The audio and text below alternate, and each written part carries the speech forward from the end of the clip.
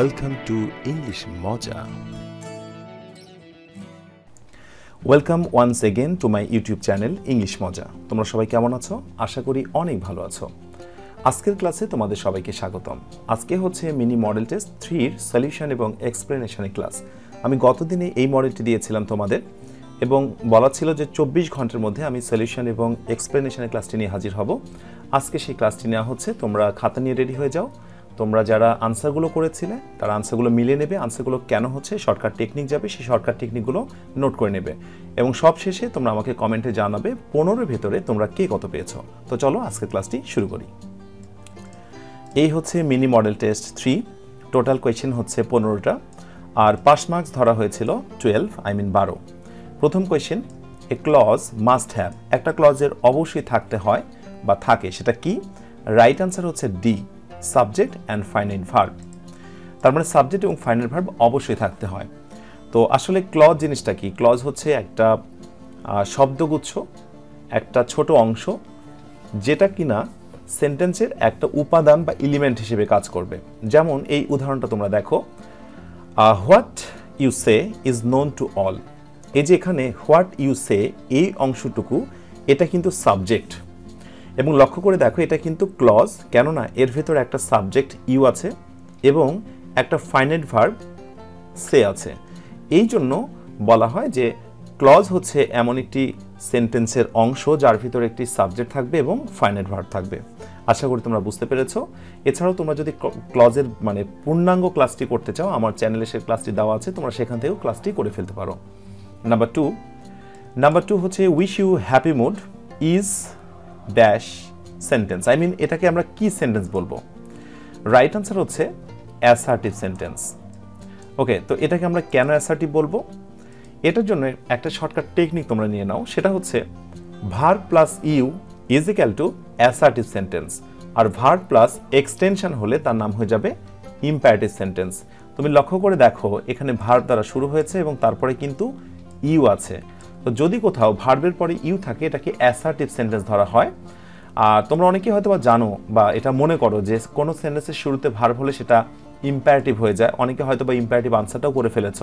কিন্তু তোমরা মনে রাখবে, যদি এটা ইম্প্যারেটিভ হয় বা হতো, তাহলে কিন্তু অবশ্যই অবজেক্ট পজিশনে অবশ্যই ইউ থাকতো না। যার কারণে শর্টকাট টেকনিকে বলা হয় যে ভার্ব হয় যদি প্রথমে এবং অবজেক্টের অবস্থানে যদি ইউ থাকে, তাহলে সেটা হয়ে যাবে অ্যাসার্টিভ সেন্টেন্স এখানে উইশ ইউ না হয়ে যদি উইশ হার, উইশ দেম হতো, তাহলে কিন্তু সেটা আবার ইম্প্যারেটিভ সেন্টেন্স হয়ে যেত। আশা করে বুঝতে পেরেছ? Number three neutral means neutral বলতে কি বোঝায়? রাইট আনসার হচ্ছে আনবেসড তো এইটা হচ্ছে রাইট উত্তর। আর নিউট্রাল মানে কি? একটু জানার চেষ্টা করি। নিউট্রাল মানে হচ্ছে নিরপেক্ষ। আর আনবেসড মানে হচ্ছে নিরপেক্ষ। দ্যাটস ওয়াই রাইট উত্তর হচ্ছে এ নাম্বারটা এবার দেখব পরের অংশ। এই হচ্ছে চার number. Tohid would go far with his brain means he will. এইখানে এই যে go far with his brain যেটুকুতে underline করা আছে এইটুকুর মানেটা কি? আসলে এটা বুঝতে হবে, এটা একটা ফ্রেজ, যার বাংলা অর্থ হচ্ছে কোনো কাজ করতে সক্ষম হওয়া, সেই কাজে ব্যর্থ না হওয়া। তো আমরা অবশ্যই যদি কোনো কাজে কাজ করতে ব্যর্থ না হয় অবশ্যই সেটাকে আমরা কি বলব? Never fail. যার কারণে বলা হচ্ছে go far with his brain তার মানে হচ্ছে হি উইল নেভার ফেল সে কাজটি করতে ব্যর্থ হবে না। আসলে এটার অর্থ জানলে তুমি অটোমেটিক্যাল আনসারটা করতে পারবে। সো চার নম্বরের রাইট আনসার হচ্ছে ডি নাম্বারটা।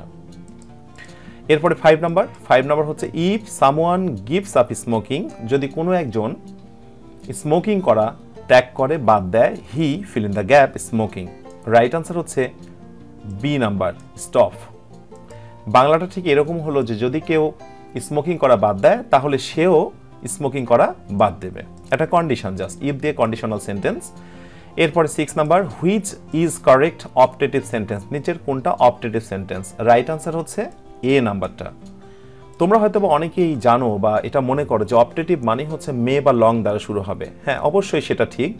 অপটেটিভে মে বা লং দ্বারা শুরু হয়। তবে অনেক সময় কিছু কিছু সেন্টেন্সের অর্থ বুঝে তোমাকে অপটেটিভ নির্ণয় করতে হয়। আসলে অপটেটিভের বাংলাটা কি? অপটেটিভ বলতে মূলত ইচ্ছা, খুশি, আশা, প্রত্যাশা, ভালো কিছু, এইসব জিনিসগুলোকে আমরা অপটেটিভের মধ্যে রাখি।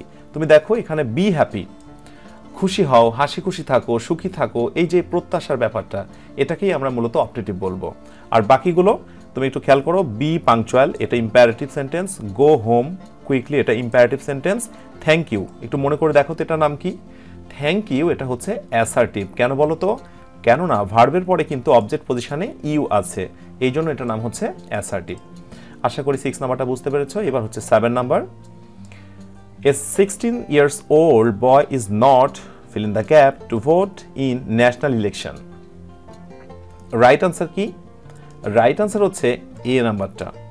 তো এটা কেন হলো? এটার জন্য একটা শর্টকাট টেকনিক জানা দরকার। সেটা হচ্ছে এনাফের ব্যবহার। এনাফের ব্যবহারের এই কৌশলটি তোমরা মনে রাখবে। সেটা হচ্ছে এনাফ প্লাস নাউন এবং আরেকটি হচ্ছে অ্যাজেকটিভ বা অ্যাডভার প্লাস এনাফ তার মানে যদি কোথাও অ্যাজেকটিভ থাকে অ্যাজেকটিভের পরে বসবে এনাফ তুমি লক্ষ্য করে দেখো, এইখানে ওল্ড হচ্ছে অ্যাজেকটিভ আর এনাফ হচ্ছে তারপরে অবস্থান করেছে। দ্যাটস ওয়াই আমরা এ নাম্বারটাকে চুজ করেছি। সেভেন নাম্বারের এই এনাফের ব্যবহারটা খুবই ইম্পর্টেন্ট খুবই গুরুত্বপূর্ণ। তোমরা ভালো করে নোট করে নেবে এবং পরীক্ষার জন্য ভালো করে এই অংশটা আই মিন এই এনাফের ব্যবহারের ব্যাপারটা ভালো করে প্রিপারেশান নেবে। এবার পরের অংশগুলো এই হচ্ছে eight number. Loud fill in the gap the noise of the victim অর্থাৎ উচ্চ আওয়াজ ড্যাশ বাড়িয়ে দিয়েছিল। এইখানে রাইট উত্তর হচ্ছে সি বাড়িয়ে দিয়েছিল। কি বাড়িয়ে দিয়েছিল? The noise of the victim অর্থাৎ যারা লোক ছিল, প্রতারিত লোক ছিল, তাদের গোলযোগের ব্যাপারটাকে আরও বেশি বাড়িয়ে দিয়েছিল। এখানে রেস্ট রাইট আনসার হবে এবং রেস্টের রাইট হওয়ার পেছনে আরেকটি কারণ আছে, সেটা হচ্ছে রেস্ট একটি ট্রানজিটিভ ভার্ব ট্রানজিটিভ ভার্বের একটা অবজেক্ট থাকে। আর অবজেক্ট অবশ্যই এখানে এটা, কেননা এটার নাম হচ্ছে noun phrase noun phrase object হতে পারে, তোমরা জেনে রাখো। আর বাকিগুলো ওয়াজ বা ওয়ার হবে না। এখানে র্যাং এগুলো হবে না, কেননা এগুলো দিলে অর্থ নষ্ট হয়ে যাবে দ্যাটস এগুলো হবে না। Number nine choose the correct translation of সে কোথা থেকে এলো, সে যাবেই বা কোথায়। এটার ইংলিশ ট্রান্সলেশন কোনটা? রাইট আনসার হচ্ছে বি নাম্বারটা। সে কোথা থেকে এলো what did man come from হ্যাঁ অবশ্যই ডিড থাকলে ভার্বের বেস ফর্ম হয়, সেটা ঠিক আছে। আর কোথায় বা যাবে? হ্যাঁ কোথায় যাবে? Future tense will he go to আর যেহেতু একটা লক্ষ্যে যাবে, কোনো গন্তব্যে যাবে এই জন্য আসলে টু ব্যবহার করতে হবে। এই জন্য বি নাম্বারটা রাইট হয়েছে। নাম্বার টেন টেন নাম্বারটা খুবই important choose the right verb সঠিক ভার্বটি খুঁজে বের করো। Rabindranath stories often fill in the gap surprise ending right answer হচ্ছে ডি নাম্বারটা হ্যাপ তো কেন হলো? রবীন্দ্রনাথের গল্পগুলোর আকস্মিক সমাপ্তি ঘটতো বা হঠাৎ করে শেষ হতো, যেটাকে আমরা বলি রবীন্দ্রনাথের ছোট গল্প। রবীন্দ্রনাথের ছোট গল্পগুলো হঠাৎ করে শেষ হয়ে যেত। আমার আলোচ্য বিষয় কি, রবীন্দ্রনাথ নাকি তার ছোট গল্প? অবশ্যই তার ছোট গল্প। তো যেহেতু ছোট গল্পকে আমি হাইলাইট করছি, অবশ্যই ভার্বটি প্লোরাল হবে সেই জন্য হ্যাপ চুজ করেছি। আরেকটা বিষয় বলি, রবীন্দ্রনাথ স্টোরিজ, এই সবটুকু সাবজেক্ট কিন্তু হেড হচ্ছে স্টোরিজ। তোমরা জেনে রাখবে, তোমরা মনে রাখবে অ্যাপোস্ট্রপি এস এর পরে যেটা থাকে, সেটাই হচ্ছে হেডওয়ার্ড এবং সেটা অনুযায়ী কিন্তু একটা সেন্টেন্সে ভার বসে। ব্যাপারটাকে আমি আরেকবার বলছি যে একটা সেন্টেন্সে ভার কি সিঙ্গুলার হবে না প্লুরাল হবে, সেটা নির্ভর করবে সাবজেক্টের হেডওয়ার্ডের ওপর এখানে স্টোরিজটা হচ্ছে হেডওয়ার্ড এবং সেই জন্য ভার্বটা হয়েছে plural number eleven I was never bright at math replace the underline word এই আন্ডারলাইন করা ওয়ার্ডের জায়গাতে আমরা কি বসাতে পারব? রাইট আনসার হচ্ছে এ নাম্বারটা গুড ব্রাইট অ্যাট মানে হচ্ছে গুড বা ভালো। I was never good at math অর্থাৎ আমি কখনোই ম্যাথে ভালো ছিলাম না। এবার পরের অংশ দেখব। এই হচ্ছে পরের অংশ এবং লাস্ট পেজ বারো number as like as dot dot as like as are the symbol of simile okay right answer হচ্ছে সিমিলি তো সিমিলির বাংলাটা একটু জেনে নাও তোমরা। সিমিলি মানে হচ্ছে উপমা। যদি কোনো সেন্টেন্সে তোমরা as like as dot dot as অথবা লাইক অ্যাজ দেখতে পাও, তাহলে সেই সেন্টেন্সটিকে বলা হয় সিমিলি আর এটার বাংলাটা হয়ে যায় উপমা। তাহলে মেটাফোরটা কি? মেটাফোরটা হচ্ছে রূপক অর্থ দিয়ে থাকে। দুটি অসম বিষয়বস্তুর মধ্যে তুলনা। আর পার্সোনিফিকেশন জিনিসটা কি? পার্সোনিফিকেশন বিষয়টি হচ্ছে কোনো অ্যাবস্ট্রাক্ট বিষয়কে, একটা ধারণাকে একটা ব্যক্তিতে রূপান্তরিত করা, একটা হিউম্যান বিংয়ে পরিণত করা। এই বিষয়টার নাম হচ্ছে পার্সোনিফিকেশন। আমি খুব শীঘ্রই লিটারেচারের উপরে ক্লাস নিব। সেই লিটারেচারের উপরে তোমরা এই ব্যাপারগুলোর উপরে ক্লাস করতে পারবে। এগুলোকে বলা হয় ফিগার অফ স্পিচ আজকে শুধু এইটুকু জেনে রাখো যে এই বৈশিষ্ট্যগুলো যদি কোথাও থাকে, তাহলে তার নাম হয়ে যাবে সিমিলি এরপরে thirty number the noun form of the verb loss লসটা হচ্ছে ভার্ব এই ভার্বের নাউনটা কি? রাইট আনসার হচ্ছে A number loss L O double S loss lost এটা হচ্ছে মূলত ভার্বের পাস্ট ফর্ম লসিং এটা আসলে জিরান্ড হয়েছে। আর লুজ এটা হচ্ছে মূলত অ্যাজেক্টিভ এরপর চোদ্দ number correct indirect narration of the sentence নিচের সেন্টেন্সের রাইট ন্যারেশন কোনটা হবে? He said good morning right answer হচ্ছে সি তো সিটা কেন হলো? দেখো গুড মর্নিং জিনিসটা কিন্তু হচ্ছে উইশ করা কাউকে। তো উইশ করলে বেসিক্যালি রিপোর্টিং ভাড়াটা তুলে আমাকে ওখানে উইস্ট দিতে হবে। আর তোমরা জেনে রাখো গুড মর্নিং গুড নাইট এই শব্দগুলো থাকলে মূলত সেটাই বসে যায়, আর কোনো পরিবর্তন করতে হয় না। সেই জন্য সি নাম্বারটা রাইট হয়েছে। এবং আজকে আলোচনা লাস্ট নাম্বার হচ্ছে এই fifty number right tag of the following sentence tag কোয়েশ্চেনটা কী হবে এই সেন্টেন্সের he apostrophe d put the box on it right answer guess করে ফেলেছো, অনেকে আনসারও করে ফেলেছে, এবার মিলিয়ে নাও। রাইট আনসার হচ্ছে অল আর কারেক্ট সবগুলো রাইট আনসার তো এটা আসলে কেন হলো?